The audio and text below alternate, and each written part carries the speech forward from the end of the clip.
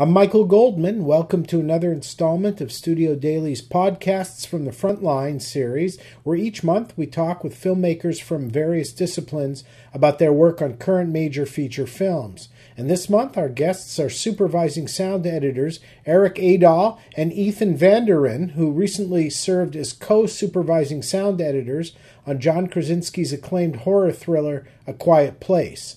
The film's unique premise about human survivors of an alien invasion forced to live in silence in order to evade killer aliens that hunt entirely by their sense of hearing, made the movie a sound designer's dream, according to Van der as they were forced to play with unique ways of using and enhancing silence for large stretches, among other innovations. I recently spoke with the two men about the unique project. We hope you enjoy the conversation.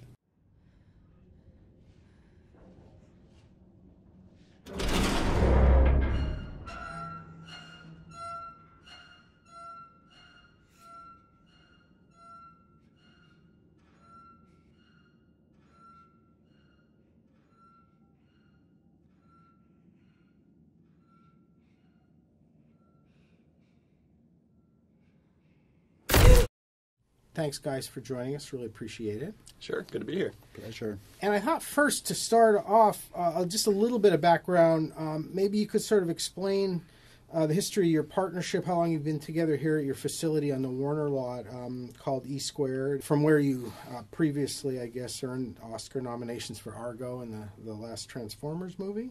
The uh, the third Transformers movie, Dark of the Moon, and that's actually how we met. Was on the very uh, well, first time we worked together was on the very first Transformers film. Um, Ethan gave me a call one day. We'd never worked with each other, and said, "Hey, Michael Bay just hired me to supervise Transformers. Do you want a sound design?" And I said, "Yes."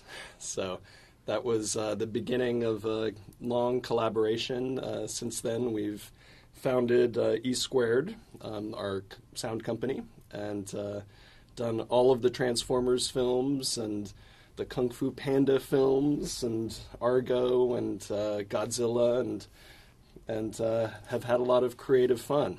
I, I think one of the f- great things about working with Ethan is uh, I think we challenge each other more creatively than any filmmaker or director has challenged us. So that's been a very um, rich and inspiring uh, partnership for me.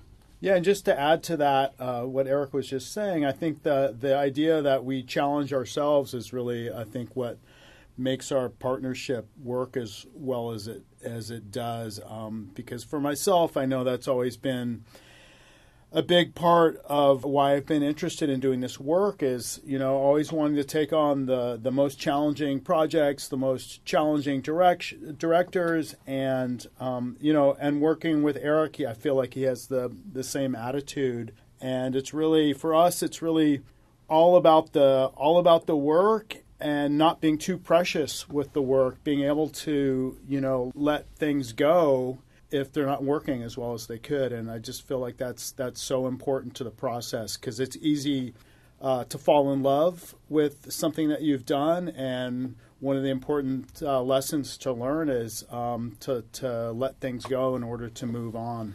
Well, speaking of, uh, of challenging uh, projects. Um, maybe a little background on the sort of the how and the why and the when. Uh, you know, you guys hooked up with, with John Krasinski, the director and the star of this mm-hmm. film, uh, Quiet Place. Mm-hmm. Um, very unique project. Why that material was attractive to you guys and why it was a good fit. Yeah, well, we were first approached by um, uh, the producers who we'd worked with before, and uh, they sent us a script and said, "Hey, read the script, and we want you to meet uh, with John Krasinski, uh, writer, director, actor." And uh, just immediately upon reading the script, we realized this is a really special project and there were just a few lines of dialogue. So, uh, really, a film that was all about sound. So, we thought this is thrilling. It's going to be hard as hell, but uh, it's going to be super exciting. It, um, a day or two later, we met with John, and before we could say anything, he said, This is a sound designer's dream. so, beating us to the punch. Um, and uh, we just got right into it, just started brainstorming, spitballing ideas, and a few months later they started filming. And uh, yeah, after that we started digging in and uh, making the sound. Well, uh, you, you, know, I think by way of introduction of the material for people who, haven't seen it yet and get ready for quite an experience uh, when you do go see it. Um, you know, maybe you can contrast a little bit the uh, some of the the primary sonic challenges that you guys you know were walking into uh, as compared to maybe more standard Hollywood fare. I mean, I mean, such as Transformers material, which certainly presents huge audio challenges uh, of its own, but of a more um, large cacophony mm-hmm. nature, I guess, than, uh-huh. than what we're dealing with here. You know, I mean, here, for, for those who, who, don't know, we're in a world, we're on Earth where aliens have invaded and um, they hunt people solely by hearing them, and so everyone's got to be really, really quiet. Um, so silence, huge role, and all, and all, that. So, you know, what was the difference? Uh, walking into this from what you were used to walking into in some of those other mm-hmm. pictures? Well, I would say you know the the big difference really is um, you know it's in the title, A Quiet Place, and so one of the really big challenges uh, was how quiet can we get with this film, and so that was really sort of where the exploration began. And you know, we just started experimenting with all the different shades of quiet. Um, everything from complete silence, you know, digital zero, which we're able to get to basically at three different um, moments, suspended moments in the film. So everything from complete silence up to actually pretty powerful, um, strong sonic moments, and every gradation in between. And you know it's just so so thrilling to be able to sort of um, do that kind of experimentation with all these subtle variations between different you know levels of quiet which is something that obviously we play with in all our work but this was this was a playground like no other because of the fact that the narrative of the movie really revolves around sound and quiet. And um, as you already mentioned, the idea of really being able to play with with um, silence as a narrative plot device became sort of key for for the work as we got into it. And just to add to that, you know, um, this really was an exercise of subtraction. you know, a typical film is wall to wall sound, wall to wall music and um, of course, there is music in this film, a beautiful score by Marco Beltrami, but it's very sparse. And there's places where, in order to tell this story, we had to actually take out music so it would make more sense. One example is, um, you know, we have a, a, main character, the daughter, uh, named Regan, uh, who's deaf. And she's played by Millicent Simmonds, who in real life is deaf as well. And one of the kind of early experiments we tried, and it stuck because it was so effective, was sonically getting into her point of view, her perspective. And John Krasinski wound up calling this her sonic envelope. And uh, we had to take out music um, in order for that to read because it's so easy to kind of bulldoze wallpaper through it and it loses its meaning. But um, when uh, she's wearing a cochlear implant, and uh, Millicent uh, described to John what that experience is like, what that sounds like. And it's kind of like a low hum, a sort of gentle rumble. And we then interpreted that through our own experiences um, with anechoic chambers, which are completely isolated sound chambers where there's no sound that can permeate the walls or even radio frequencies. And it's actually kind of a unsettling experience. I think uh, people kind of forget that uh, the hearing is so necessary to orientation and balance. And because it's just always there, you just get so used to it. It's this comfort blanket. And when that blanket's ripped away and you don't have any sounds coming at you, or the sounds that you make are not being reflected back at you, you actually can lose your balance and fall over in these anechoic chambers. And after a few minutes, um, your brain kind of readjusts and you start to hear the sounds of your own body, which is this low kind of rumble. So that was kind of our point of reference for creating her, Regan's deaf point of view through her cochlear implant. Um, but for that to read, we had to kind of create contrast between what was coming in and out of it as well. So we had to make sure our airs and atmospheres, the winds through the trees, were loud enough to register a shift when we went into her into her shoes. But um, that was one of kind of my favorite concepts from the film, creating these sonic points of view. And we do it with the creatures as well. We do it with the family as well in different ways. Um, but uh, that to me is part of the magic of sound that you can put an audience in the shoes of these characters and make it even more of an immersive experience. And certainly on this film, I feel like you know our goal was to make the audience active participants in the film. Yeah, and I want to uh, dig deeper into some of that stuff about the sonic envelope and her point of view, and, and also the use of music and, a few other things. Um, but I want to make sure I understand first. Uh, as you dived into this project, you know the process of uh, of designing these sounds um, was that a, a, communal group effort? You guys and others, and, and, and John, um, you're credited as, co- as, as sound supervising sound editors. Mm-hmm. Um, so you know maybe you could explain how you know the process and the team that, that designed this approach. You know how, how that process worked for you guys, and, and who all was involved with that. Yeah, so um, we had a small team um, on this movie. Our lead uh, sound designer, who actually um, has a co supervising credit with us, is uh, someone named uh, Brandon Jones. He's been working with us for the last couple years, and um, he did a lot of uh, design work on the movie we Eric and I um, sat down initially with an early cut of the movie and went through it, uh, just the two of us, and started focusing on some of the key moments um, to try and work out a couple of key concepts. The first being uh, this idea of a sonic uh, envelope for for Regan, and that's something that we discussed with John Krasinski initially. We had an initial um, meeting with uh, John when we started working on the movie, and just sort of had a general kind of brainstorming session about um, interesting things to try with the sound design. One of the one of the main sort of topics of that conversation had to do with the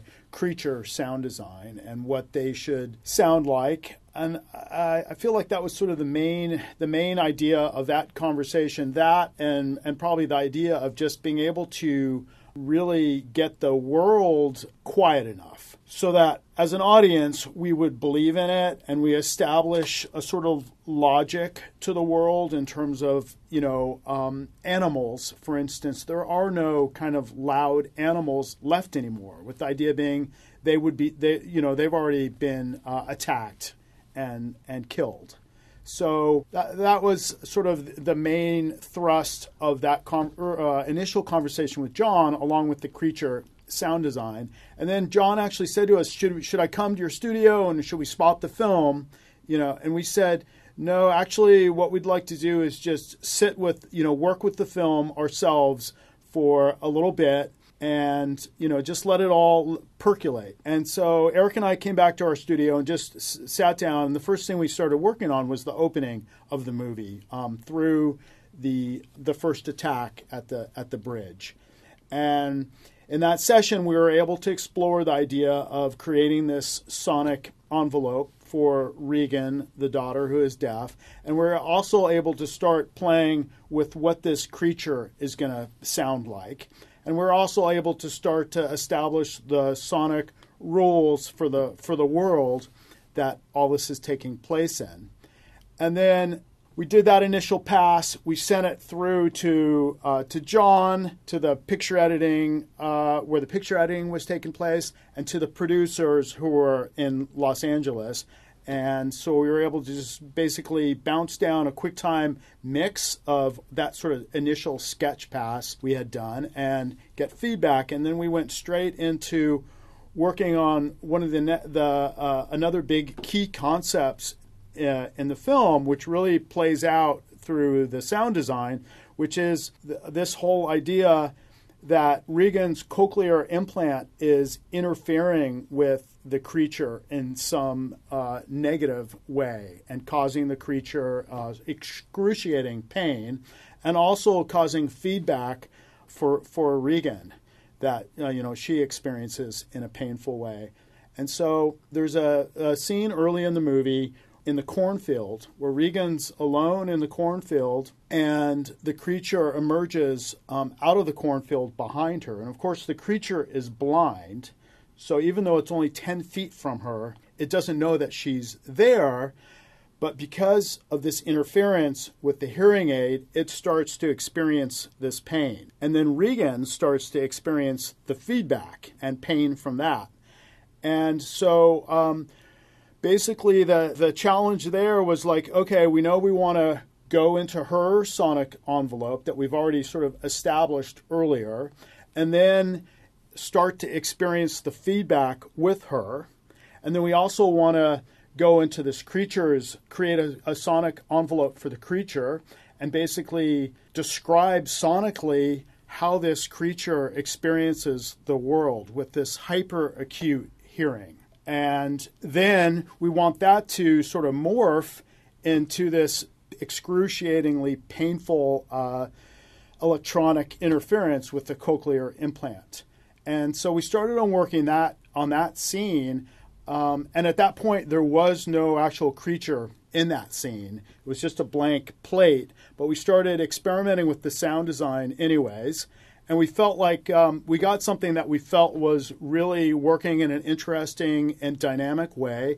And again, we sort of uh, did a little mix on it, stereo mix, and sent that through to all the different sort of collaborators on the movie. And that's sort of how we proceeded through the film, sort of prioritizing the key concepts that we wanted to attack first and doing little sketch passes to try and work out the concept and then sending it through, getting feedback, and just attacking it that way. And one of the other cool parts of the collaboration is um, uh, this one was kind of rare in the sense of how much sound affected the picture editing and affected the visual effect. You know, typically sound might be just something tacked on to the end of the process um, but this was really an example of evolving the sound along with the picture and with the visual effects. So in the cornfield example, it was kind of the logic of the sound that really dictated how the scene was going to be cut. And uh, then once we kind of had the architecture of that put together, um, there were other realizations like um, we started to get VFX in from ILM in particular where we start really pushing in on the creature and its ears open up. And we realized we needed just more time on that shot. We needed a few more seconds of head on the shot so we could establish the cornfield sounds, the insects in the cornfield.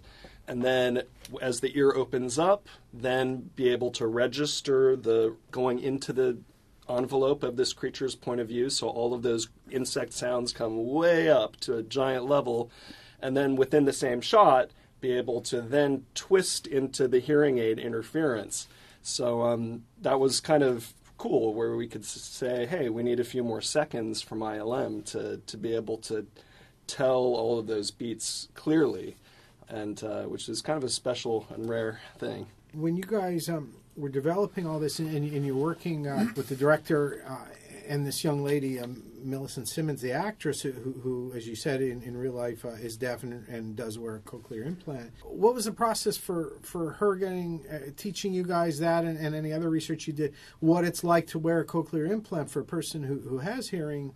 It must be very difficult to comprehend. I mean, it's one thing to cover your ears for a second, but that's not really what it's all about, and the fact that she can feel certain things. I'm not an expert, but I understand the the implant um, basically bypasses the damaged part of the ear and, and, and, and, tries to send sensation to the part that were, but it's not like full hearing. Mm-hmm. Um, so uh, to get that understanding, so that it would be realistic um, even though the people who would know if it's realistic are people who can't hear it, you know. Yeah, and, yeah. and tell yeah. us if we got it right or not. Yeah. Again, I mean, all of all of that work that we did is based on John um, basically describing uh, Millicent's description of her experience to him.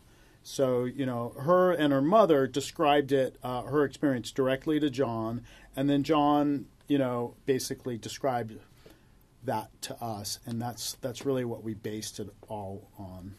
And then you mentioned uh, this issue of the sonic envelopes, and, and it's most prominent with her. Uh, the creatures ha- have them. Do, do any other characters? I, I know there was a scene uh, where uh, the two parents, um, uh, you know, played by uh, John and Emily Blunt, want to have a romantic moment to themselves in, in, in this world that's been turned upside down for them, and and they, they listen on, on earbuds to, to Neil Young's beautiful song uh, "Harvest Moon." Um, and it, you know, one minute it's not there, and then it's there while earbuds are in are, in their ears. You know, sort of designing and editing that so that it, it wasn't like we're just kicking back and listening to a Neil Young tune. It's part of the narrative. There's a dramatic reason. Yeah, no, and, and and and that was not our idea. That was purely John Krasinski's um, great filmmaking. No, that was actually in the script. You know, he Yeah. had he had written that that song specifically into the script, and I know, um, you know, originally they thought it was going to be much too expensive um, to be able to afford it for the film because the budget was uh, relatively low for this the movie to be able to afford a song like that. But um, but I know that it was important to John to have that song specifically, so so he was able to to make it happen because it was that you know important to him. You know, um, there's there's a couple of other um, sonic envelopes that we create, um, but I would say the the main other sonic envelope has to do with basically the envelope of the the hearing characters in the film, which of course, as an audience, is the envelope that we share with them through much of the experience. And I think that's part of why uh, we've gotten a lot of feedback on this film, uh, how interactive an experience it is for an audience to um, to experience it, because it, it really by creating this envelope that that uh, basically works for the audience as well as the hearing characters in the movie, uh, it really sucks us in to the experience. So uh, this film is very much about all these different sonic envelopes that we're able to create for the for the various characters, including the audience. Yeah, and in a typical uh, motion picture, of course, dialogue is a big deal, and in an ironic way, it is here too because there is, in fact, dialogue, but it's all about when and how can you get away with speaking without summoning the, the creatures. You know, a, a little bit in the bunker underground, but but also that they train themselves or learned. You know, you can go to a place with a much larger sound and talk under it. So then you are, after all, editors among other things. You know, balancing when when uh, the father takes the son to the waterfall to teach him this is a place we can talk. Um, because the pounding of the water drowns us out. Uh, you know how you layered that so we could hear their conversation, but make it clear that it's supposed to be drowned out by the waterfall. It seems to me it would be a lot of uh, very complicated stuff in Pro Tools. Well, it's um, it's a real delicate kind of thing. You know, you can overshoot it. Uh, Obviously, we want people to understand the dialogue, but you don't want it to be so clear so that you ruin the logic that um, this waterfall is masking it. You know, it's uh, that whole sequence is really a demonstration of masking. And in sound, that's essentially, as it's described in the movie, a louder sound will drown out a smaller sound. So they are able to to speak in this environment. It's uh, we went through many many different delicate iterations, and that that was less editing. I think it was more on the mix stage where we got those balances, and uh, we're also intercutting with their conversation to much quieter environments with following Emily's um, story as well. So the intercutting also affects, you know, how do you then pop back into the waterfall? And actually, through that sequence, it's we're getting more and more emotional because the conversation father and son is having is about how um, Mil- uh, Millicent's character Regan is kind of estranged and doesn't know, doesn't really feel dad's love. Um, so the arc of that whole sequence is kind of taking the waterfall and just subliminally lowering it and br- slowly introducing music. So there's kind of a rack focus from sonically a rack focus from the reality of this experience to the emotional reality. And we, we, mentioned earlier, um, uh, you know, the, the unusual use of music uh, by having it, but then taking it away Mm-hmm. uh, and not overdoing it and, and being very strategic ab- about it. And, and, and, you know, I mean, this is, I think we talked when I came in, some people consider this a horror movie, some people consider it a, uh, a thriller, but, but certainly you do maintain, you know, that concept of, of, of sort of the jump scare, you know, uh, for, you know, for sudden sound, particularly when every, you know darn well everyone's life depends on being quiet you know, sort of those strategic moments, knowing when to bang you. Um, you know, I, I was impressed because it was all directly related to the narrative. It was, never was gratuitous, but you know, some of the challenges you had there of when to do a classical horror movie noise that we're definitely not expecting and don't want to hear at that time. Well, you know, one example of that is in the very opening of the film. The family is in the pharmacy, um, scavenging for medication, and um, and the youngest son um, is trying to grab hold of this toy, this space shuttle toy, up on a shelf, and it kind of slips off the shelf, and his older sister rushes in to catch it.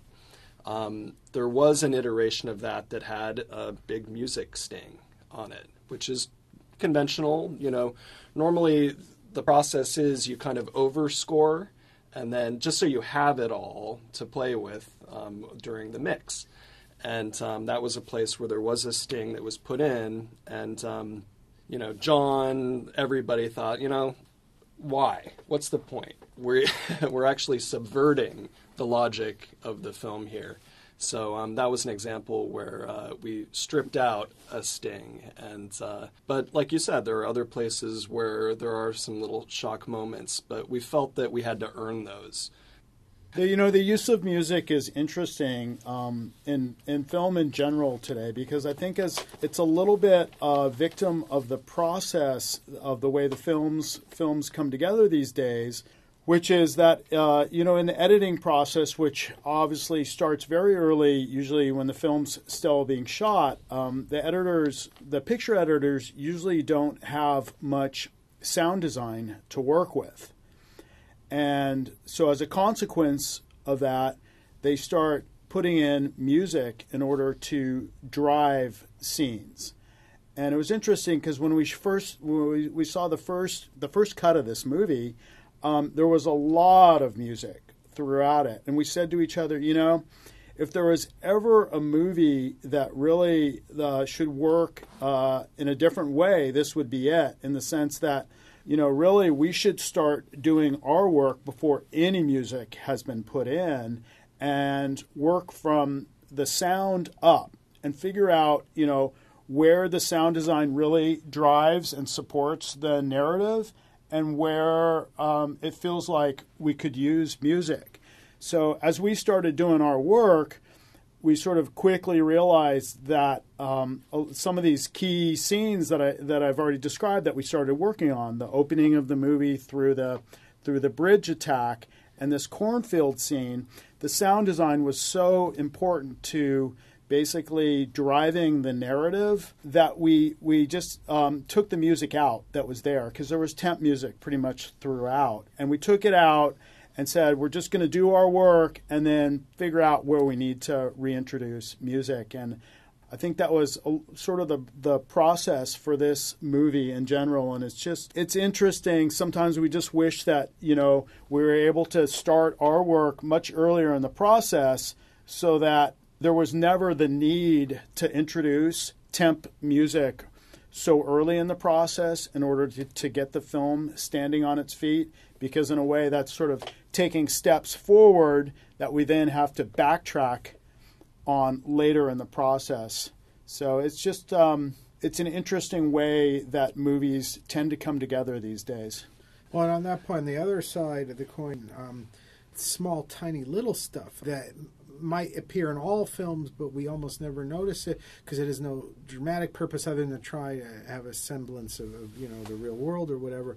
But you know, the walking on gravel, the snap of a twig, a dripping of water, some some uh, you know tearing of fabric or, or heavy breathing um, when you hurt yourself and you can't wail or whatever. It was so strategically used and impressive. Uh, and, and, I guess it also illustrates uh, in this digital era the art of the foley is not dead by any, any mm-hmm. means. You know, with some of the things were so we could see. I mean, it's impossible to make no noise if you're moving and there's debris and things around. You know how you manage that and decide. Well, here's enough that it's okay, but we mm-hmm. can't have it go here because then the creatures would hear it. You know mm-hmm. how you Right. figure that out. Well, uh, yeah, a lot of it's just experimentation, and you know, every sound affects every other sound. So, for example, a footstep um, might be way too loud, isolated, and on its own. Um, but if you introduce the atmospheres and the wind through the trees, those can kind of cloak that sound. But the, in other scenes, we're down in the basement, which is padded and completely sound isolated. So there's actually no airs, no room tones, no hums, no anything. So that same footstep is going to sound giant in there. So everything is relative and affects everything else. So that's very much what we experimented with through the whole process. Um, uh, certain things like the family walking um, to the trestle bridge in the beginning of the film, we didn't play Foley at all on the wide shots because that defeated our logic. We just played the airs and the winds. And then you really only hear the footstep when we cut into a close up. So perspective was also a really interesting Uh, key concept for us.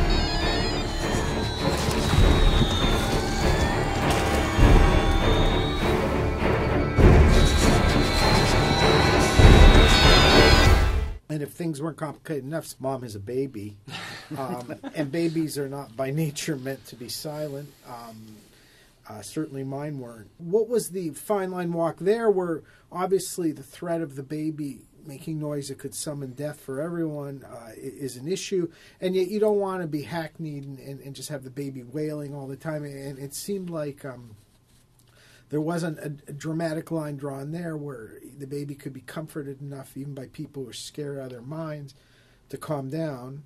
So, how, what was the deal about how much baby to throw in there, when to do it, and when not to do it? you know, fortunately, the structure of the film kind of helped us with some of the baby issues. Like when we go, what we call the red room, after um, mom sets the visual alarm uh, with all the red lights light up, and she's she's down below with the baby, and the whole basement has flooded. By its very structure of that scene, it helped us with that logic of can the baby make any noise or no noise because there's water rushing, and that sound is cloaking, masking the sound of the baby so that the creature is not just going to instantly take them out. But there were some debates, like, you know, the family has uh, was very clever in creating this little uh, box for the baby with a little oxygen mask, and uh, we debated, you know, when you first reveal that, and um, you know, they put the uh, put the little oxygen mask muzzle on the baby and close the baby in. We debated: do we take out all of the baby sounds when the thing gets muffled? Uh, do we just have a little bit of sound emanating through the wood of the lid of that box? And uh, we did one early test screening, and um, the audience, we had taken out all the sound of the baby on that shot when the lid goes on, and there was this chuckle in the audience. And the filmmakers were, got a little concerned. Like, was that a release of pent up, you know, angst energy? Was that a nervous chuckle, or was it actually funny moment? Um, so there's so much debate and experimentation back and forth, and where we wound up um, in, in the scene was we had just the faintest little hint of muffled baby vocal on there. Um, there was another scene where uh, baby's born, and it's the first full conversation um, between husband and wife down in the basement, and we had one little off-screen baby peep, and uh, that also got a little chuckle. Um, so they actually recut the scene just a little bit in order to uh, for it to play right. It's interesting because I think what- really what we're we're sort of talking about is the sonic, you know, logic of the film in terms of, oh, you know, uh, what's too loud that breaks the logic of the film. And there's something so powerful about setting up this structure, this sonic logic, and then really sticking to it. Um, you know, and despite you know, there's there's many times throughout the film where it, be, where it would be tempting to break the logic for dramatic reasons. And, but there's something so powerful about staying true to the logic, so you're constantly reinforcing it so that we can really, as an audience, we really buy into the world and buy into the experience because you know we really tried hard to create this this logic and then live by it in a way, and I, th- I think that's important to to the film working as well as it does. Speaking of, of signaling noises, you know, the, the, creatures themselves have their own very unique sound, uh, kind of a clicking sort of a thing. Um, and I th- as I watched the movie, I realized, well, there's a bit of a dichotomy here. One of the reasons people know to shut the hell up is when they hear this clicking. Mm-hmm. So the humans are hearing them as well, mm-hmm. and, and, it's one of the key aspects of how you can try to protect yourself. What was the design or, or, or the figuring out of uh, of what the alien should sound like? Well, the aliens, you know, um, they're blind, so they they don't have sight. So their entire perception their, uh, of the universe is through sound, and um, and of course they're they move very elegantly and swiftly. They're not bumping into things, so somehow they're able to create a 3D map of of their universe.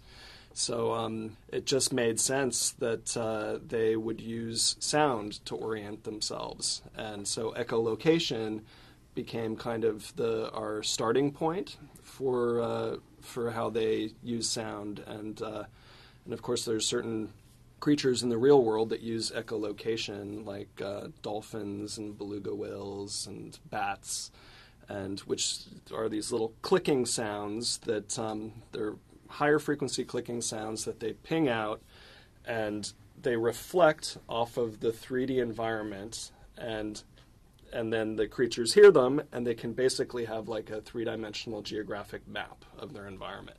Some humans some blind people use that as well either with a cane or doing mouth clicks and they can get a very accurate. They can see oh there's a tree six feet away. So yeah that was kind of the starting point for their searching mode of these creatures. One other thing um, you mentioned earlier this film is a bit different in terms of working with uh, picture editor, and, and, and this film was cut by Christopher Tellefsen, mm-hmm. um, you know, well-known editor. Um, uh, what was the collaborative process with him and, and, John like in terms of you know, okay, we can create all the sounds you want and all, all the effects you want, you know, whatever, but in terms of us all being on the same page about the length, the, the volume, the pitch, the combinations, um, you know, when to drop it, go silent. You know, how, how did that work? You know, how close uh, a relationship did you did you have to have with, with, with Chris for, for cutting this movie? Well, we were in L.A. and Christopher was in New York.